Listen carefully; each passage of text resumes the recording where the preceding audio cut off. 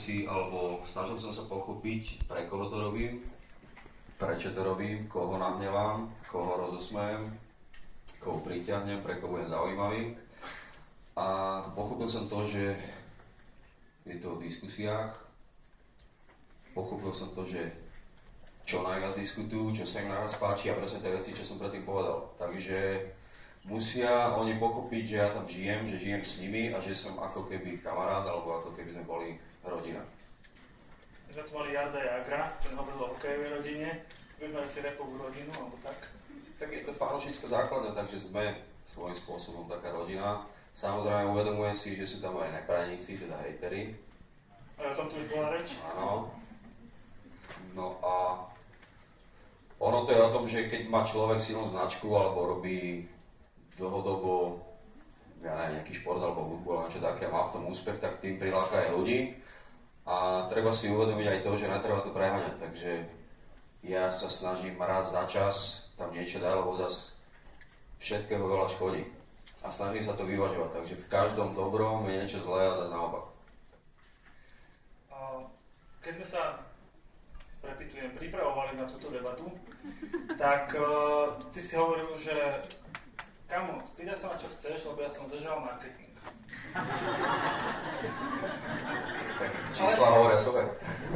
v, čom je, v čom je tento úspech? Prečo si podľa teba, podľa teba, prečo si úspešný? Pretože sa ľudia vo mňa nevyznajú. A o tom to je, pretože keby ľudia pochopili vlastne, kto som, tak môžeme ich to počasie presne baviť.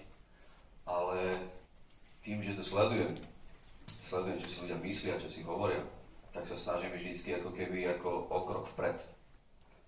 No a potom, čo sa týka hudby, tak to som zožral úplne celé, pretože snažím sa to vyvažovať. Ľudia, niektorí ľudia si myslia, alebo sú presvedčení, že moja tvorba je založená iba na tom, že hreším. Ale to je ich chyba, pretože všetky albumy doteraz, ktoré som spravil, tak moja zásada je taká, že polovica musí byť tam, kde hreším a polovica je tam, kde nehreším a tým sa to práve zamotáva a mám dva tábory, ktoré ma nenávidia za to, že hreším a potom sú ľudia takí, ktoré ma, ktoré ma majú radi za to, že aj hreším, ale mám aj skladby, ktoré sú o motivácii, o tom, ako, na, ako chcem na sebe makať, alebo to, ako vidí svoj život, alebo to, že som začal z nuly a opisujem to, jak pomaličky prirodzene idem hore a tieto veci.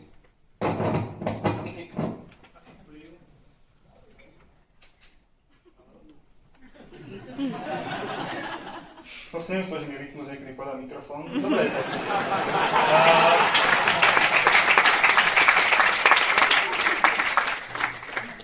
Vieš nám povedať, aký vplyv, ako to ty subjektívne vnímaš, aký vplyv má Facebook na to tvoje budovanie značky? Aký silný je v tom celom, čo ty robíš? Aký vplyv?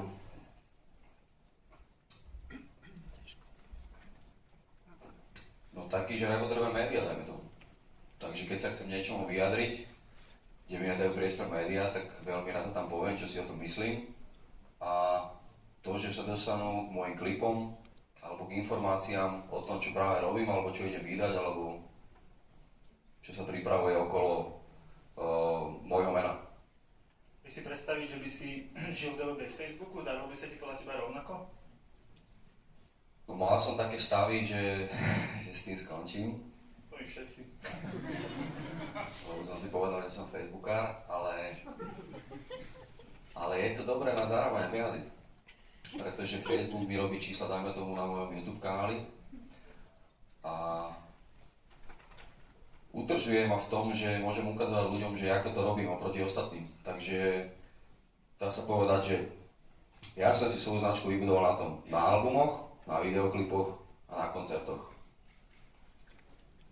A Facebook je k tomu taký, keby, také vylepšenie, alebo to, že sa ľudia môžu pozrieť do môjho sveta, ako to vidím, aké mám pocity, alebo aký mám názor na to, alebo keď som natočil, dáme tomu nejaký dokument a chcem ho spropagovať, takže tieto veci. Ináč je tu, máme tu hostia teda priamo z Facebooku, to je pán v košeli. Takže veta, že Facebook mi pomáha zarábať penáze, to by som poprosil niekam na titulok, dobre oceniť na tejto konferencii. Ďakujem. Uh, ty si to spomenul tie videá. Ja som tu hovoril, keď som ťa uvádzal, že tvoj YouTube channel má 260 tisíc odberateľov, tvoje videá si ľudia pozreli dokopy 143 miliónov krát. Z toho, milí marketéri, asi viete, ako my teda bojujeme o virály, tak 27 e, z Patrikových videí má viac ako milión videní. 27. Proste asi tak každé tretie. Uh, prečo sú tvoje videá virálne? Keď to nie je len o tom, že hrešíš? Tak, lebo sa to snažím vždycky urobiť opačne, ako to robia všetci ostatní. Takže to znamená, že to sledujem, čo sa deje. No a potom je to o imidži, je to o dobrom vkuse na hudbu. Áno, pretože niekto má... Myslíš, myslíš tvoju hudbu? No áno, ja si, no, myslím, jasne, ja si myslím, že produkciu má dobrú. Dobro, dobro. To znamená, že... Sa bola zlá, to nikto nesleduje. Je to tak? Je to tak. No a je to o tom, jak vyzerajú tie klipy, aké sú skladby, aký je prejav a aký je odkaz. Takže je to o tom. Byť najlepší na trhu, čo sa týka v danom štýle, alebo možno aj showbiznise. OK, my tu máme takú nástenku, kam nám pribúdajú otázky. Oni väčšinou sú podpísané, ale pre teba sú teda anonimné, ako som si všimol. Nevadí. Robíš si nejaké marketingové prieskumy? Ak áno, riadiš sa nimi? Sledujem číslo. Iba, či to rastie alebo nerastie. Zatiaľ to rastie tak, že som sa nemusel zapodievať e, nejakými vecami, nejakou stratégiou, že či by som mohol vylepšiť. E, zatiaľ to ide prirodzene, úplne v pohode. Netlačím na to, čo som ako zatiaľ rád, možno príde obdobie, kedy budem musieť tlačiť, alebo, alebo zvážiť nejakú cestu, ako by to mohlo ísť, ale aj tak som zástanca toho, že to, čo je dobre, tak to prirodzene pôjde. Keď chceme niečo tlačiť, čo je zlé, môžeme to tlačiť možno tak rok alebo dva, bublina potom praskne a pravda sa ukáže. Musíme hovoriť ten marketing potom, to je to, čo robia títo ľudia v tejto sále. Dobre, uh, ja by som teraz prešiel trochu k marketingu, lebo uh, ty si v zásade už tu, už tu dnes odznelo pomerne odvážne, že keď chcete mať úspešnú kampaň, pozrite do Nerytmusa. Nepoviem meno speakera, ale chápeme sa. A ty si teda robil už, e, vystupoval si v reklamách na viaceré značky a dá sa povedať, že väčšina z tých reklam bola úspešná. Ja len poviem e, úplne aktuálny údaj. Tá Rytmusová finančná akadémia pre Tatra banku minulý týždeň získala dvakrát striebornú EFI, čo je teda neuveriteľný úspech. Že to nebolo iba o tom, že to bolo virálne, ale bolo to aj o tom, že to malo reálne obchodné výsledky. Prečo si myslíš, že kampane s tebou fungujú? Čo, čo je za tým? No, musím to byť hlavne ja. Nemôže byť nejaké pozícii, ne, tak som to myslel, že nemôže byť nejaké pozícii, že si povedal, že iba ho zaplatili a urobil to preto, že mm, využili, dajme tomu moje meno. Je to o tom, že keď som robil treba tú Tatravanku, tak vedeli, že mám vzťah k peniazom. A, Pozitívny? Že áno. Podával som to takým humorným prednesom čo si myslím, že bolo úplne v pohode, pretože keby som zase bol vážny, tak by som to nebol ja.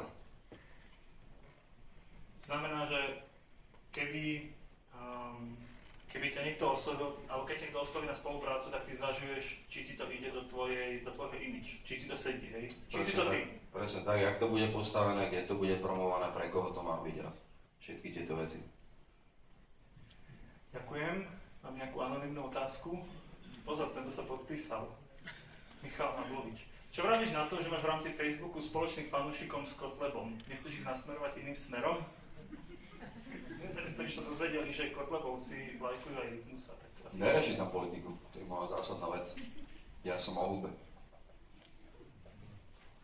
Ani nebudeš kandidovať na Nebudem to smerovať, lebo podľa mňa, podľa mňa uh, toto je to, čo tam tých ľudí nezaujíma. Úplne viem, že keby že to tam dám, tak uh, nikto na to nebude reagovať, možno sa chytí nejakých 10-20 ľudí a tým to aj končí. Mnohí nám to vyčítali, a mali sme tu case study Jarmíra Jagra, ktorý robí vynikajúco svoj Facebook, podobne ako ty.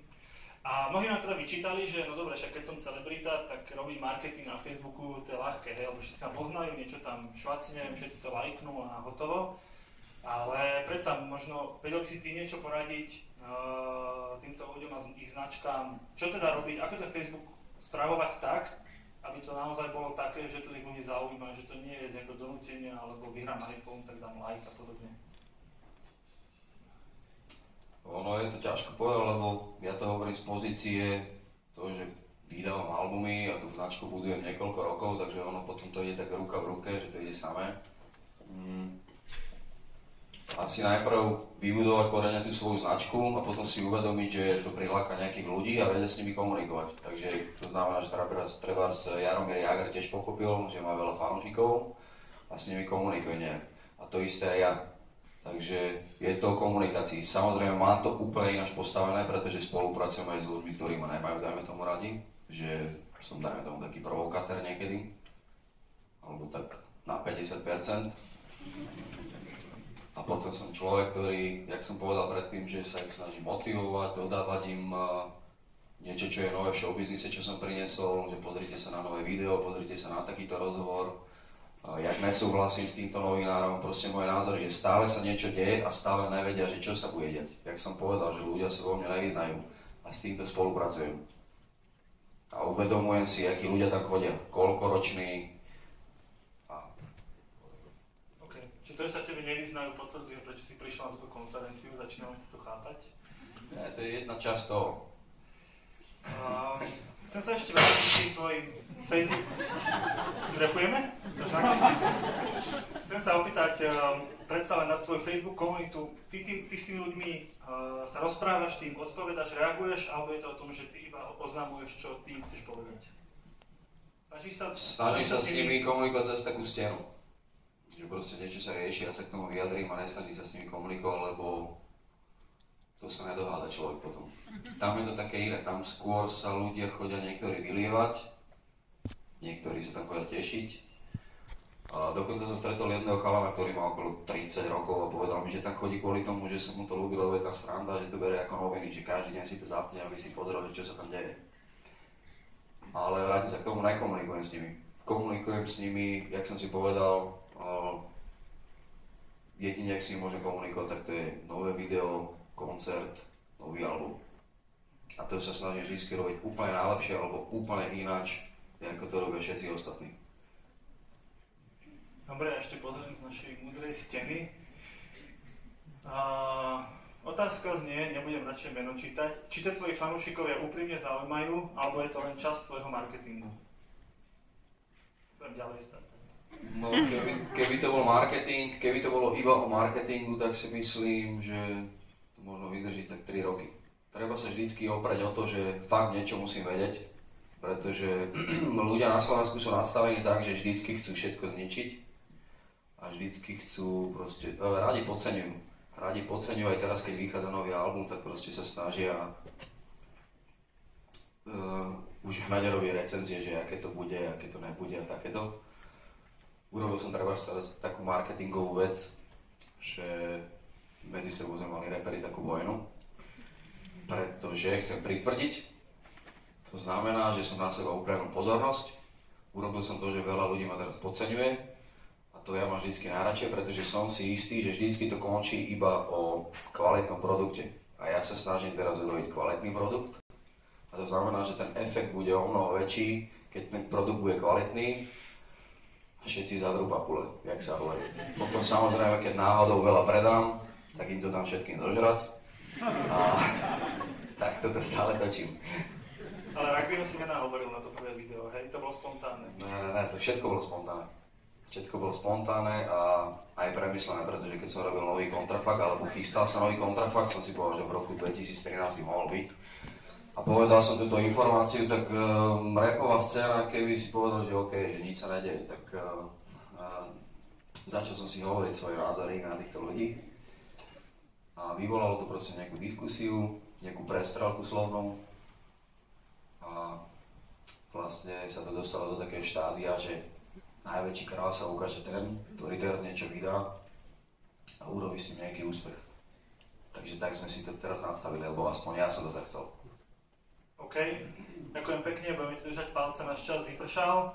Škoda. ja mám viac peniazí, rytmus, sorry.